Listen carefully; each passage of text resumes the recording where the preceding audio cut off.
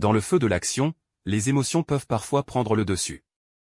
Après la défaite du Barça face au PSG, les regards se sont tournés vers Ronald Arauco, pointé du doigt par son coéquipier Ilkay Gundogan. Mais ce jeudi, lors d'un événement à Barcelone, Arauco a choisi de garder le silence. Dans le monde du football, les mots sont parfois aussi tranchants que les tacles sur le terrain. Quand les rêves de gloire se transforment en cauchemars.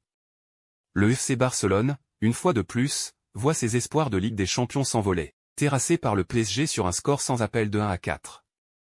Une défaite qui résonne dans les couloirs du Camp Nou, où l'écho des désaccords commence à se faire entendre. Au cœur de la tourmente, Ronald Arauco, dont l'expulsion a été le tournant du match, selon les mots de son coéquipier Ilkay Gundogan. Un accrochage avec Bradley Barcola, et c'est tout un destin qui bascule. La lucidité de Gundogan après le match contraste avec le silence pesant d'un vestiaire qui doit maintenant se reconstruire. C'est dans ces moments que l'on reconnaît les grands clubs. Sauront-ils trouver la force de se relever? Seul l'avenir nous le dira. Recevoir un carton rouge si tôt dans le match, ça vous tue, avait-il lâché?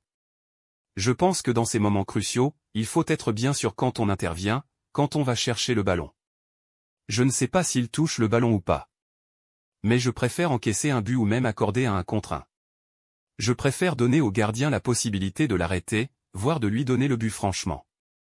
Je suis déçu, très déçu parce que nous étions en si bonne position. Pas seulement à l'issue du match aller mais aussi après le premier but qu'on a marqué, a déclaré Ilkay Gundogan. Ronald Arauco, le défenseur du Barça, au cœur de la controverse après son expulsion, a choisi la réserve plutôt que la réplique.